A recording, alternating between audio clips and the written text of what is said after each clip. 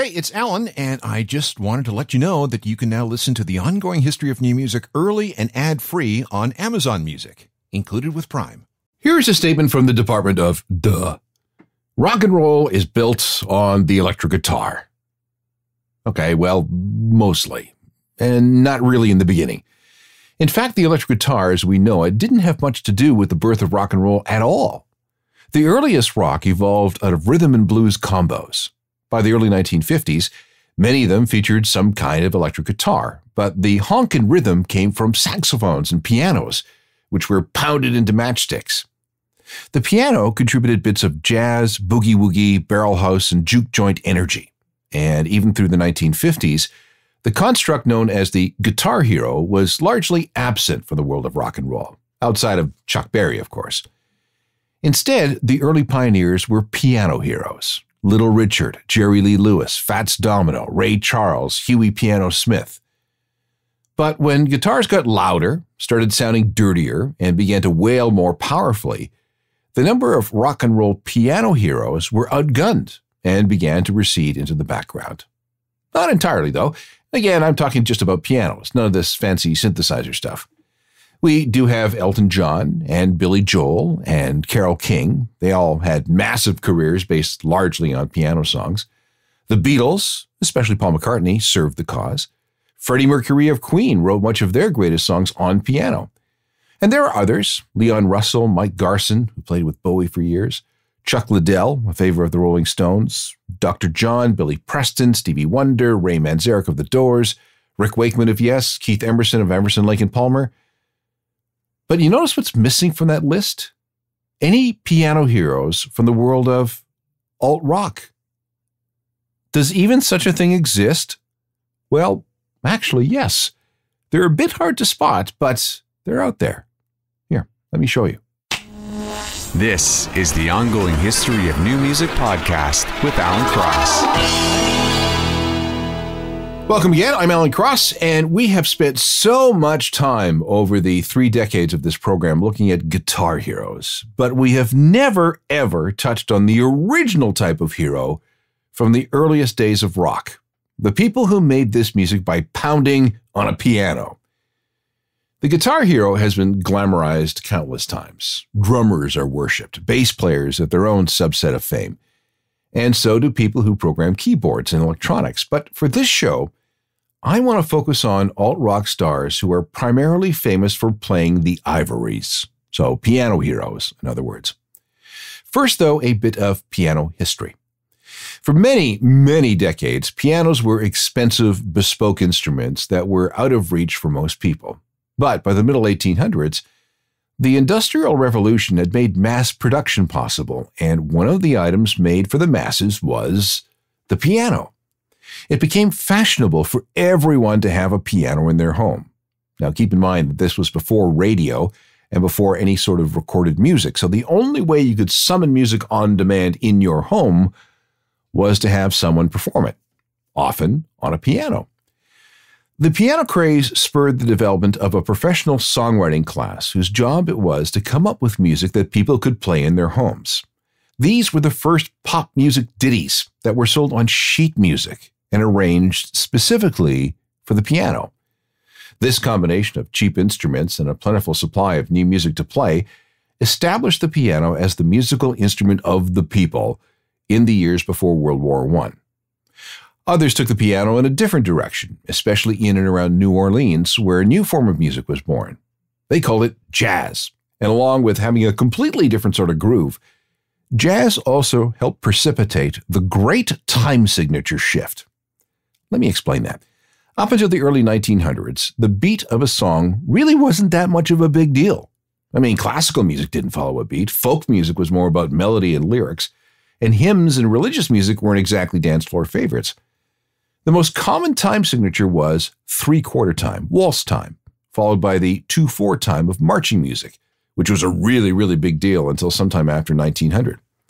But with the rise of the piano and the spread of jazz, especially an early form called ragtime, which was among the first new musical forms to use the left hand and the lower notes to supply a steady rhythm to what the right hand was playing, time signatures fell into 4 4 time, the standard beat for most of today's popular songs. Other time signatures were basically left in the dust. 4 4 was the beat of the 20th century. Because it seemed that everyone had a piano, it became an essential instrument, not only in homes, but in music halls and movie theaters and bars and restaurants and juke joints and even brothels. And it was on the piano that much of popular music evolved. During World War II, the big dance bands of the era were stripped of their members as many were drafted. Maintaining a group of 10 or 12 or more members became too expensive and the big bands gave way to smaller combos of three, four, or five players. In the 1940s, a form of jazz based on the abilities of the combo called the bebop developed, and such groups often had a piano player. Meanwhile, another form of music dubbed rhythm and blues coalesced, featuring players from the music halls and saloons and bars and juke joints and brothels. And it was these combos who helped create the combinations of what would become rock and roll. And from there, it's just a short step to the pioneers that we spoke about Little Richard and Jerry Lee Lewis and Chubby Checker and so on. And while the piano helped create rock and roll, it was soon largely supplanted by the electric guitar. But it is still a vital instrument for writing and performing in all areas of popular music. Okay, with all that out of the way, we can start talking about some alt rock piano heroes. And we're going to begin with a couple of women. First up, Kate Bush, one of the greatest alt rock piano players of all time. Starting at the piano at age 11, she taught herself. She was discovered by Pink Floyd's David Gilmour when she was 15. He was a family friend. And by this time, Kate could also play the violin and the organ. She also started writing her own songs. A demo of 50 tracks made the rounds, and she was eventually signed by EMI, coincidentally, Pink Floyd's label. Another 200 demos followed, and in August 1977, she started working on her first album. Within months, Kate was one of the best known female singers in all of the UK.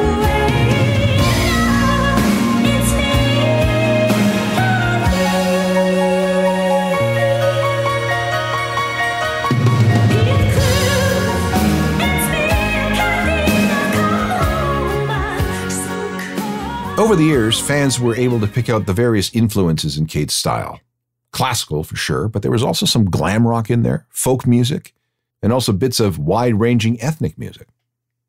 Tori Amos was a prodigy who took to the piano when she was really, really young. While her older brother took lessons, Tori really didn't seem to need them.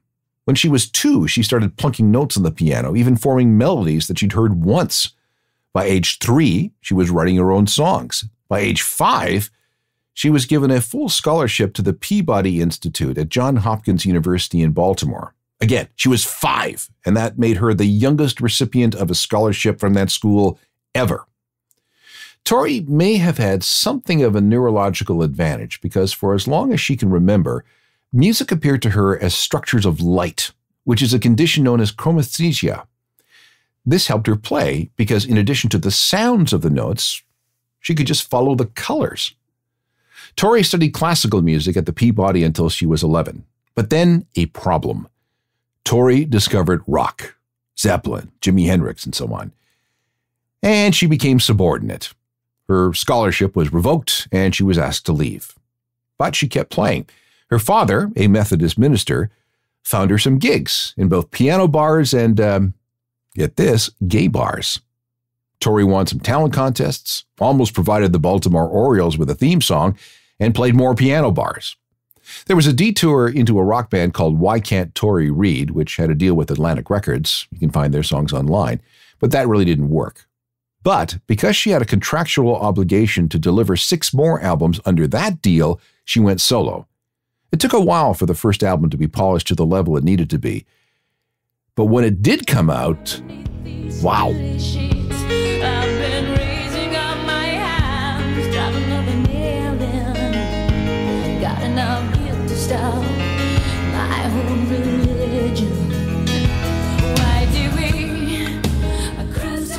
A couple of things about Tori's piano playing.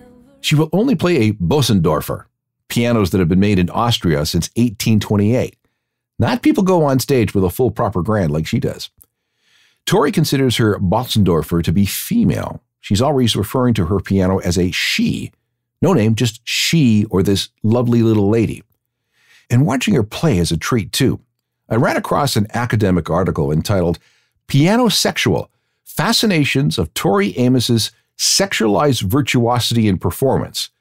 And this article dissects things over eight pages with phrases like this. Let me quote Amos's pianistic virtuosity and technical facility, alongside her sexualized physicality and performance, separate her from most women singer songwriters who play the piano. She performs with a sexualized athleticism akin to the virtuosic fascinations literary theorist Hans Ulrich Gumbrecht describes in Praise of Athletic Beauty. She straddles the piano chair twists her body to face the audience. By sitting at the piano with her legs wide open to direct not only her voice, but her genitals at the audience, she violates the protocols of basic girliness that demand closed legs. Again, this is an academic paper. At the same time, this arresting style works against the classical tradition in which she received her first training, a tradition that her experiments with piano styles and harpsichord playing suggest she has not abandoned. Wow. Let's move on to Fiona Apple. Like Tori Amos, she was composing her own songs at an early age, eight in her case. She had this knack of being able to take chord charts for guitars and turn them into sheet music for the piano. There's actually a clip of her on YouTube playing a keyboard as a small child.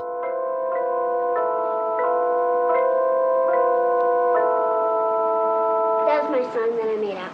Play it again for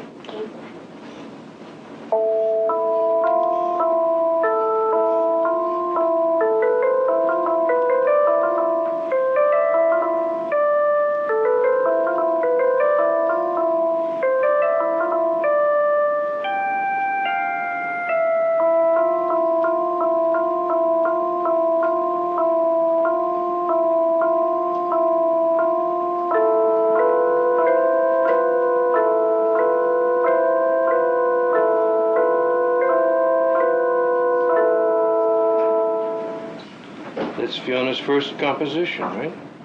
She studied classical music, but eventually discovered jazz through the music of Ella Fitzgerald and Billie Holiday.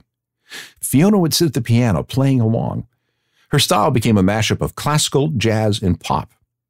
She started making demo recordings and eventually passed a cassette to the babysitter of a music publicist. That publicist then passed it on to Sony Music, and by the time Fiona was 20, she had a major label deal. Her first album was called Tidal, and it came with this big video hit.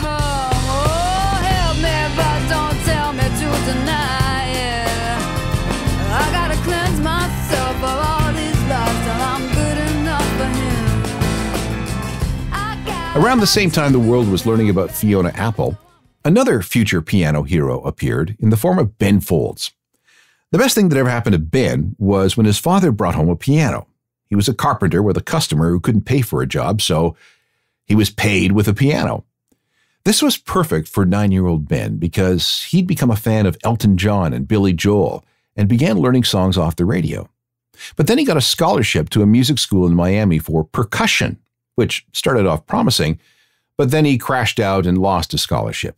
He went back to the piano and spent, he says, six months running scales with a metronome like a freak. From there, it was a lot of dead ends and bands and gigs that went nowhere. It wasn't until he moved back home to North Carolina and formed a band he called Ben Folds Five that things started to click. He called his music punk rock for sissies. This is from the second Ben Folds Five record entitled Whatever and Ever Amen. It's the battle of who could care less. And you think Rockford Files is cool. But there are some things you would change if it were up to you. So think about your masterpiece. A platinum album, Ben Folds 5, 1997. Since then, Ben Folds has released a number of albums on his own, collaborated with everyone from William Shatner to Weird Al, written soundtracks for Hollywood films, done some acting, appeared as a judge on an NBC talent show, served as an artistic director to a symphony orchestra, hosted a podcast, and written a memoir. And apropos of nothing, he's been married five times and divorced four. So Ben Folds five marriages. Sorry about that. Who else from the world of alt rock bases their music around the piano? Stick around and find out. This program is something different. It's a look at piano heroes from the world of alt rock. There aren't many of them, but those who do exist have added a lot of color to this music. The most commercially successful piano based band to come out of the alt rock world is arguably Coldplay.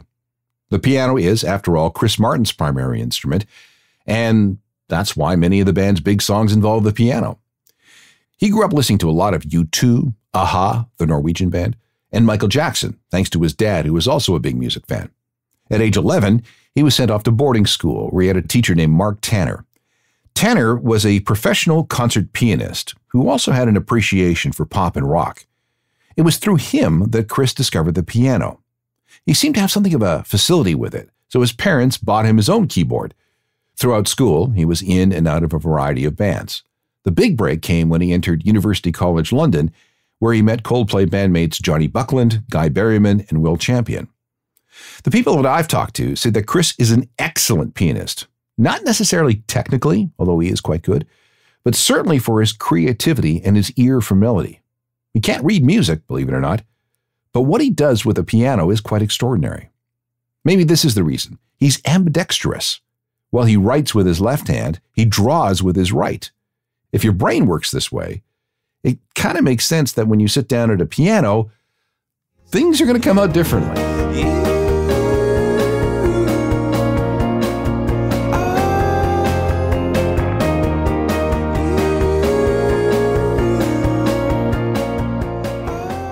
Next on our list of piano heroes has to be Tim Rice Oxley, the guy who supplies the keyboards in Keane.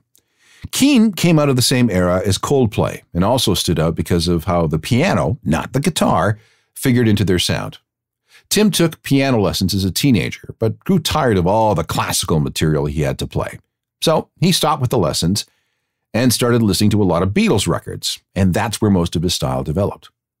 Keane was formed in 1995 and had a guitar player for the first five years or so, but when that guy left, there was, as Tim put it, a big hole in our sound. He'd been the bass player until that point, and although he wanted to play the piano, he really didn't want to use anything digital. But when the guitarist left, there was an opportunity to change things up. He acquired a Yamaha CP70BM, a hybrid acoustic electric grand piano after reading that the Beatles producer George Martin really liked this thing. He eventually tracked down a used one, and here's a quote As soon as we plugged it in, it made this massive sound, and we immediately knew it was the sound of Keane. It opened up everything for the band, which started having alt rock hits like this.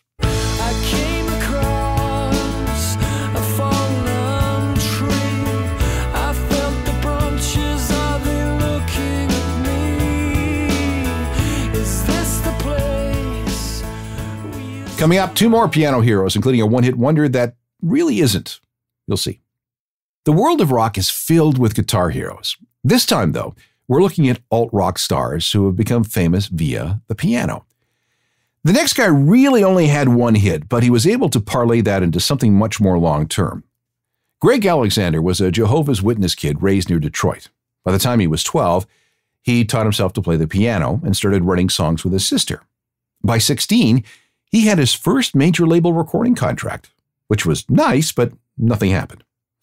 In 1997, he formed a band he called the New Radicals. And uh, band is a bit of a misnomer since he really was the only permanent member, along with a collaborator named Daniel Brisebois. They released an album called Maybe You've Been Brainwashed Too in the fall of 1998. And this piano based single became one of the great one hit wonders of the late 90s.